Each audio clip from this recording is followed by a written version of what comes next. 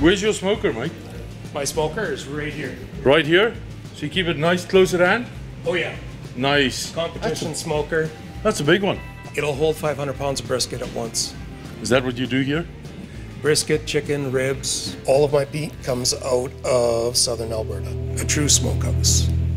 This looks like an absolute feast. Let's work through this. Baked beans goes with everything, does it You not? You smoke that? We smoke a little bit of the bacon that goes in there because we make our own bacon as well. Then, that's your cornbread. Cornbread, mac and cheese, potato salad, pulled pork, mm-hmm. slow smoked for 12 hours, St. Louis ribs.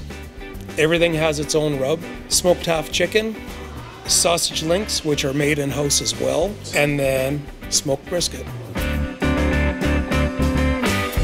Which one are you most proud of? I would say the brisket. Okay, let's go. Brisket it is. Good call. Look, look at this. Did you see what just happened? Very Did- tender. Did you see what just happened? Look how soft it is. Look at that. Oh, Look at that. This is a part of food TV that everybody hates. Mm-hmm. I'm not going to make a song and dance. I'm just going to say something simple. Keep it simple. Mm-hmm. Keep it right. Keep it authentic.